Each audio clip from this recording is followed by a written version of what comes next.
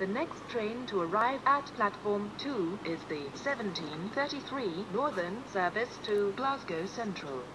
Calling at Prudhoe, Hexham, Haydon Bridge, Bardon Mill, Haltwhistle, Brampton, Wetheral, Carlisle, Gretna Green, Annan, Dumfries, Sanquhar, Kirkconnel, Newcomnock, Auchinleck, Kilmarnock, Kilmaurs, Stewarton, Dunlop, Barrhead, and Glasgow Central.